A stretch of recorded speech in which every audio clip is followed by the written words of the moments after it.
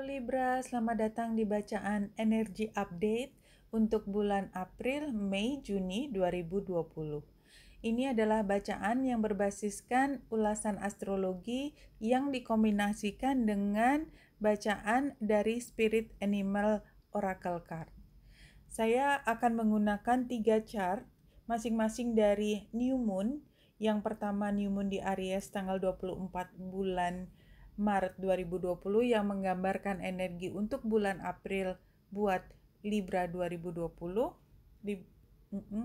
Kemudian New Moon di Taurus tanggal 23 uh, eh, bulan April yang menggambarkan bulan uh, Mei 2020 dan terakhir bulan baru di Gemini tanggal 23 Mei 2020 untuk menggambarkan bulan Juni 2020. Oke, kita mulai dari yang pertama dan ini adalah bacaan untuk Libra Ascendant, matahari atau bulan. Dan saya akan menyebutkan dekan di sini. Dekan adalah 10 hari pertama untuk uh, yang derajatnya antara 0 sampai uh, 10. Itu kalau di matahari maka dia lahir di 10 hari pertama kemudian ada dekan kedua dan ketiga itu di uh, 10 hari yang kedua dan 10 hari yang ketiga. Uh, pada saat ini kita lihat bulan matahari conjunction dengan Chiron dan Lilith ya. Ini berada di Aries dan buat Libra ini berada di rumah ke 8 1 2 3 4 5 6 rumah ke-7 sorry rumah ke-7 buat Libra Artinya pada saat ini Libra punya kesempatan besar untuk healing dalam hal hubungan dengan pasangan, kekasih, atau mitra kerja. Yang jelas ini adalah hubungan yang setara. Jadi kalau rumah ketujuh yang tepat di depan Libra adalah memang rumah dari pasangan atau kalau dalam pembicaraan atau diskusi bisnis adalah mitra kerja yang bukan atasan, bukan bawahan, tetapi punya kedudukan yang sama tinggi. Oke, okay. dan ini karena situasinya conflicting ya, kita lihat tension dengan South Node dan tension dengan North Node, maka sebenarnya ini adalah kesempatan untuk membuka cerita masa lalu untuk kemudian membahas bagaimana sebaiknya ke depan. Tapi karena ini dua-duanya tension square, maka memang ini bukan uh, perjalanan yang mudah dan kecenderungan Libra untuk lari lagi dari situasi yang tidak nyaman ini cukup besar. Namun Libra saya hanya mengingatkan kalau memang ini resonate buat Libra, khususnya buat Libra di dekan yang pertama yang kalau di matahari itu dia lahirnya di 10 hari pertama setelah masuk ke zodiak Libra, maka ini adalah saat yang paling paling poten ya paling besar potensinya buat Libra memecahkan masalah. Uh, buat teman-teman yang lahirnya di dekan kedua dan dekan ketiga, barangkali masih ada kaitannya dengan kehidupan sehari-hari yang rasanya belum bisa kembali normal. Jadi kayak kalau tidur tuh tidur pagi-pagi jam 5 baru bisa tidur nyenyak. Misalnya seperti itu. Sementara malam untuk bisa tidur tepat jam 12 aja sukar gitu. Biasanya masih masih nggak bisa tidur. Mungkin ada yang dicemaskan, mungkin memikirkan sesuatu ke depan atau mungkin sedang bersibuk diri eh, apa ya, mengembangkan sesuatu, berkreasi sehingga kemudian waktunya kebalik. Itu salah satu contohnya. Mungkin juga ada beberapa Libra yang punya masalah kesehatan sehingga pada saat ini memang fokus untuk memikirkan bagaimana caranya menjadi hidup sehat kembali.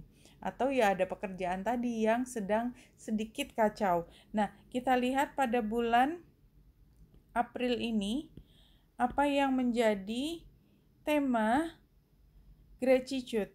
Jadi di tengah kesukaran, di tengah masalah dengan hub, uh, dengan pasangan yang meningkat dan sebenarnya ini apa ya membuat rasa tidak nyaman sebenarnya yang patut disyukuri adalah pada akhirnya kecemasan yang ada di diri Libra dalam jangka pan, uh, jangka waktu cukup panjang sekarang punya kesempatan untuk diselesaikan seperti disajikan di depan uh, meja di meja kemudian bisa dilakukan sesuatu terhadap hal tersebut. Oke, Libra, itu bulan April. Siap-siap untuk selesaikan masalah. Kalau bulan Mei, kita lihat dari new moon ini ya bulan dan matahari conjunction dengan Uranus dan ini menunjukkan kalau perubahan besar itu pasti tidak terelakkan. Pasti akan ada perubahan. Dan buat Libra, ini ada di rumah ke-8 terkait dengan harta milik bersama atau keuangan yang eh, bukan milik pribadi tetapi dihasilkan dari orang lain. Ya, mungkin kalau Libra masih bersama orang tua orang tuanya sedang uh, punya masalah sehingga yang biasanya menerima uh, seberapa bagian gitu menjadi tidak bisa menerima atau dengan pasangan yang pasangannya tadinya punya pemasukan sekarang jadi tidak punya pemasukan. Tetapi Libra tidak hanya masalah yang bisa kita temui pada bulan Mei 2020 karena sepertinya ada hal lain yang akan membantu yaitu uh, tabungan kita di masa yang lalu. Dan tabungan itu tidak hanya tabungan dalam bentuk materi. Jadi kebaikan-kebaikan kita itu mungkin akan kembali lagi kepada di, diri kita beberapa kali lipat karena memang ini adalah kesempatan buat orang yang merasa berhutang budi bisa membalas budi kepada Libra dan ini akan membuat Libra akan merasa healing ya terkait dengan katakanlah mungkin ada kontrak kerja atau kontrak untuk membayar sesuatu yang saat ini rasanya sampai pada tension. Coba kita lihat satu kartu buat Libra.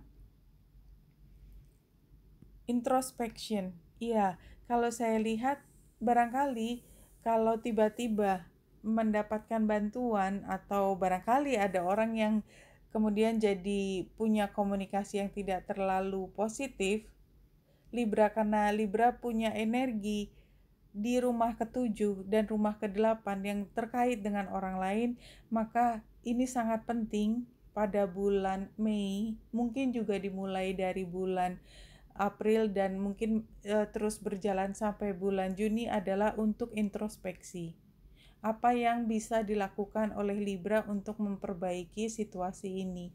Karena bagaimanapun juga yang namanya hubungan itu selalu dari dua belah pihak. Dan kalau tunggu-tungguan maka tidak akan ke mana-mana.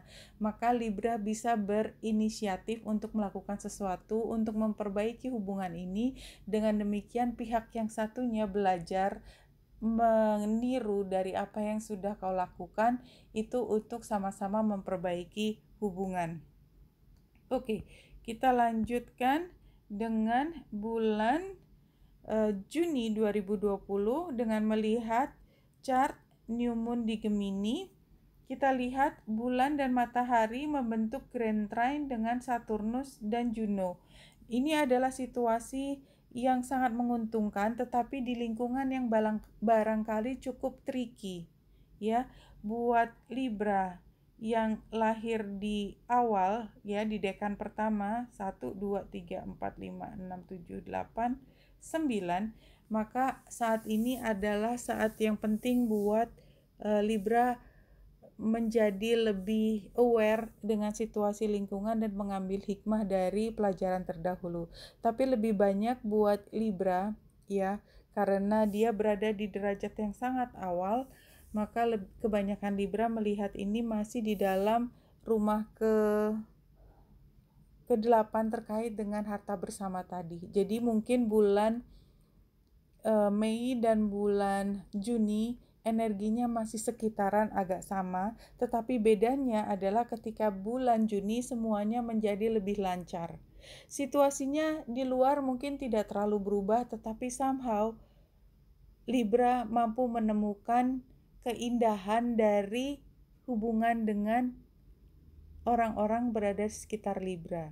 Sama-sama sudah bisa mulai berkomunikasi dan mencari jalan tengah dari konflik yang dialami. So, ini adalah situasi yang uh, menyejukkan di situasi yang katakanlah agak uh, meningkat gitu emosinya. Dan di sini kita lihat uh, energi krokodil atau atau tradition artinya ketika kita sama-sama punya kesepakatan itu biasanya kita memegang satu tradisi tertentu. Kita sama-sama memegang satu prinsip yang membuat kita sepakat untuk katakanlah tidak lagi uh, bersikap tension berusaha untuk menerima situasi yang berbeda dari orang lain karena kita juga merasa bahwa diri kita juga tidak sepenuhnya ya bisa menyesuaikan dengan apa yang dia inginkan. So itu adalah dua belah pihak. Oke, Libra kalau kita lihat energi dari tiga bulan ini, kira-kira apa yang bisa kita pelajari?